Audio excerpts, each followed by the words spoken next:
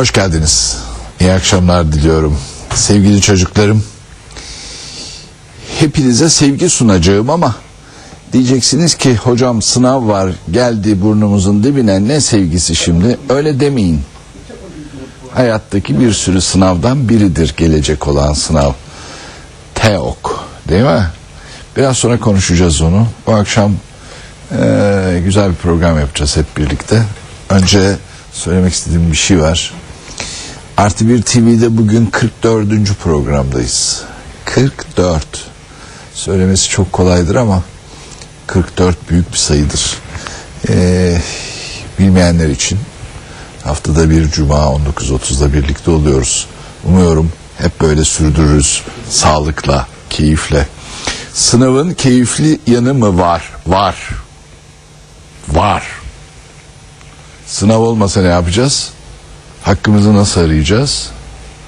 Size bir iki haber vereceğim, bir iki de sayı vereceğim biraz sonra sınavla ilgili. Oraya gelmeden önce de size söylemek istediğim bir iki şey var. 24 Kasım benim için ve işi benimki gibi olanlar, öğretmenler için önemli bir gündür. 24 Kasım Öğretmenler Günü'dür. Ee, sizden bir ricam var. Bugün 21, 22 Cumartesi, 23 Pazar, 24 Pazartesi. Öğretmenlerinizi kutlayın. İşte çiçek götürün falan demiyorum. Küçükler, büyükler. Öğretmenim tebrik ederim, kutlarım. Ee, yılda bir defa bir gün öğretmenlere böyle bir parmak bal verilir. Sizden ricam öğretmeninize bu güzelliği yapınız. Ee, öğretmenlerin buna ihtiyacı var çünkü biliyorum. Bu arada ben de bütün meslektaşlarımın öğretmenler gününü kutluyorum. Evet bu meslek e, zor bir meslektir. Bu meslek köşe dönülen bir meslek değildir ekonomik olarak. Ama bu meslek bir duygu mesleğidir, bir akıl mesleğidir.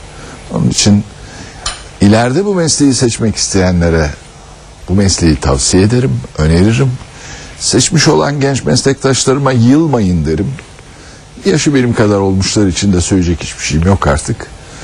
Ee, ha derseniz ki başa dönseydiniz gene seçer miydiniz? Evet. Başa dönseydim her şey yeniden kurgulansaydı ben gene öğretmenlik seçerdim. Hatta daha da ileri gideyim matematik öğretmenliğini seçerdim. Çünkü bu işi yapmaktan hep keyif aldım. Pazartesi günü bu aldığım keyiflerden birini yaşadım. İzmir'deydim, davetliydim. Aa, İzmir'de bir okula. Bilmeyenler için ben de İzmir Atatürk Lisesi mezunuyum. Gurur duyduğum bir şeydir bu. Fakat gittiğim okul Atatürk Lisesi değil ismini veremiyorum. Kusura bakmayın sebeplerini de biliyorsunuz.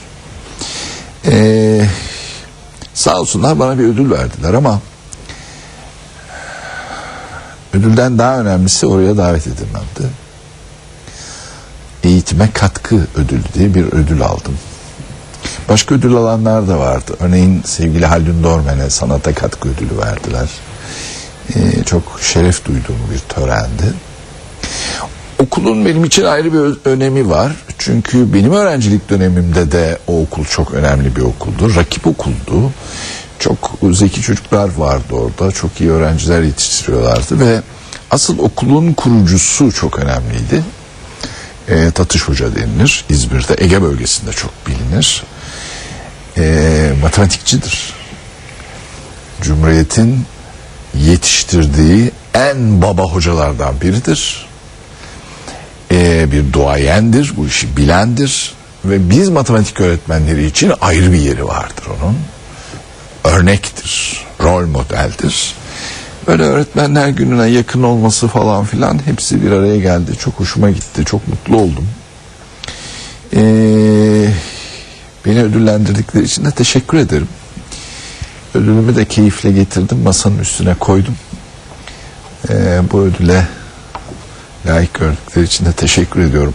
Ben oysa sanıyordum ki televizyon programı dediğin nedir ki işte söylersin havaya gider rahmetli Münir Özkul'un söylediği gibi replikler havada uçuşur. Meğer öyle olmuyormuş. Onlar bir yerlere gidiyormuş. Birileri duyuyormuş onları. O zaman ben üzülmemeliyim. demek ki her söylenen söz bir şekilde yerini buluyor. Yaşam insana böyle hoşluklar da yapıyor. İçim ısındı orada olmaktan. Ee, hepsine teşekkür ederim.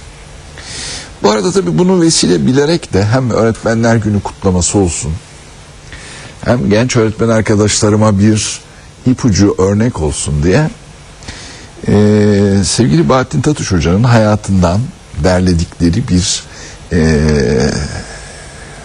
filmi bir parçasını sizlerle paylaşmak istiyorum. E, bir onu anmak istiyorum öğretmenler gününde. İki e, onun okulunda ödül almaktan duyduğum gururu bir kez daha anımsamak istiyorum. Üç e, okulun olduğu yer benim babamın rahmetli babamın yıllarca önce gittiği ilkokullardan biridir. E, dört yani o benim meslektaşım, büyüğüm. O bir matematikçi, Türkiye'nin aydın insanlarından birisi. Ee, onu analım istedim. Bir VTR'miz var. Yaklaşık 4-5 dakika kadar. Özellikle meslektaşlarımın, özellikle genç meslektaşlarımın izlemesini istiyorum. Sevgili yönetmenim, lütfen bu VTR'yi yayına verir misiniz?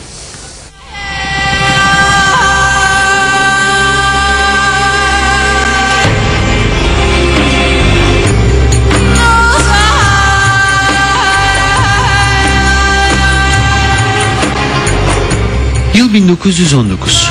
Yurdum işgal altında. Yüreklerde yılgınlık, korku, baskı egemen.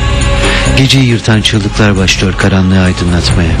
Kurtuluş çığlıkları arasında inançlar tazeleniyor, umutlar yeşermeye başlıyor çiğnenmiş toprakta. Yer İzmir, Damlacık Mahallesi. 22 Temmuz 1919. Yeni bir çığlık, bir bebek ağlaması. Eğitim meşalesini yakacak, çağdaş aydınlık Türkiye'nin yarınlarında rol olacak. Yarınlarda hep var olacak.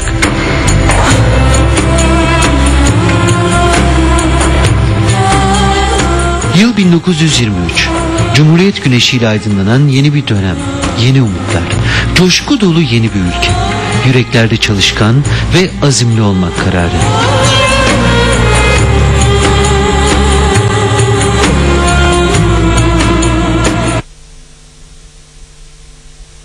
Kavuştu yeniden matematiğin engin denizine. Nasıl geçtiğini anlayamadan erdi mezuniyet gününe. Nereye çıkarsa tayini hazırlamıştı kendini gitmeye. Ama adı konmamıştı kura torbasına. Tüm öğretmenlerin teklifi ve Hasan Ali Yücel'in kabulüyle okulunda kaldı. Öğrenci olmayı düşlediği Gazi'de artık öğretim üyesiydi. Öğrendiklerini paylaşmak, her yere ulaşmak istiyordu. Üç kitabının üçünü de peş peşe bitirdi. Trigonometri, cebir, geometri dersleri. Ancak öğrenciliği gibi öğretim üyeliği de kesintiye uğradı. İkinci kez çağrıldı askere.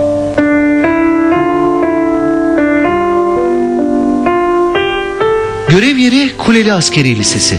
Matematik öğretmenliği. Güvenlik nedeniyle İstanbul değil Konya'ydı Kuleli'nin yeni yeri. Gördü görev yerine giderken müttefiklerce toplama kamplarından kurtarılan, Türkiye üzerinden İsrail'e sevk edilen bir deri bir kemik kalmış, birbirlerine sarılmış acı yumağı Yahudileri. İnsanın insana yaptığı zulümden tiksinerek ve tüm gücüyle insanlık için çalışacağına yemin ederek başladı 3 yıl sürecek yeni görevine.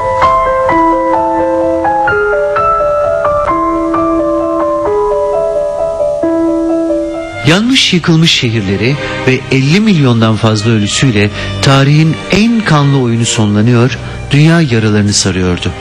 Dalgaların ve martıların, fayton çeken atların, şıkır şıkır nal sesleri arasından bir kez daha kaldırımına ayak basana gitme kal diye seslenen şehir, İzmir, giriyordu düşlerine.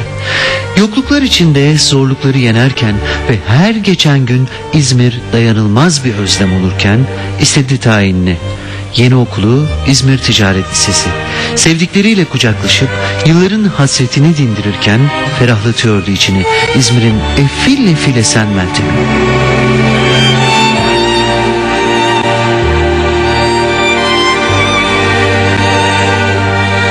Onca çalkantılı yıldan sonra sakin bir liman gibiydi İzmir. Ama yaşamı akıp gidiyordu hızla ve atmayı en çok istediği imzada ömür boyu sevip sayacağı, sınırsız bir sevgiyle bağlanacağı, nişanlısı Cevriye hanımefendiyle evlilikteydi sıra. Atacağı her adımda, alacağı her önemli kararda yüreğinin derinliklerinde hissetti eşinin sımsıcak desteğini ve iki erkek evlatla taşlandı evlilikleri.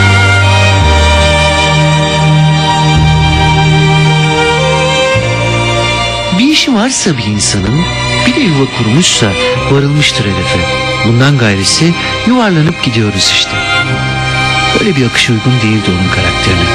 Madem ki geldik dünyaya iz bırakmalıyız ardımızda. Farkımız olmalı diğer canlılardan. Biz böyle gördük atamızdan dedi. Bir kıvılcım aldı atamızın yaktığı cumhuriyet meşalesinden. Büyüdü bu kıvılcım. Yeni aydınlıklar belirlendi. Genç Türkiye'nin genç öğretmeninden. Hedef büyüktü. İş zordu. Olmalıydı İzmir'de Atatürkçü bir Türk okulu. Öyle bir irfan yuvası kuralım ki bu yuva Türkiye'nin hatta dünyanın en güzel, en disiplinli okulu olsun.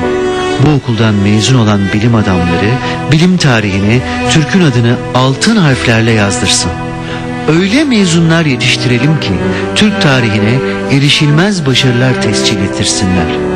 Öyle mezunlar yetiştirelim ki Türk edebiyat ve sanat tarihinin en saygın adları olsunlar.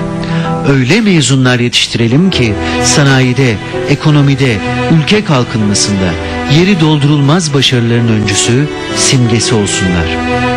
Öyle mezunlar yetiştirelim ki sağlık alanında en üstün hizmeti yapmak şerefine ulaşsınlar. Öyle mezunlar yetiştirelim ki öğretmenlik mesleğinde Türkiye'nin gururu olsunlar. Öyle mezunlar yetiştirelim ki bilimin, fennin, ahlakın, erdemin kanıtı olsunlar. Öyle mezunlar yetiştirelim ki Türkiye'nin geleceğine hükmedecek bilgi ve beceriyi kazanmış, yetenekli, yurtsever yöneticiler olsunlar. Öyle bir okul kuralım ki öğretmeniyle, yöneticisiyle, fizik yapısı ve kültür düzeyiyle Türkiye'nin hatta dünyanın örnek okulu olsun.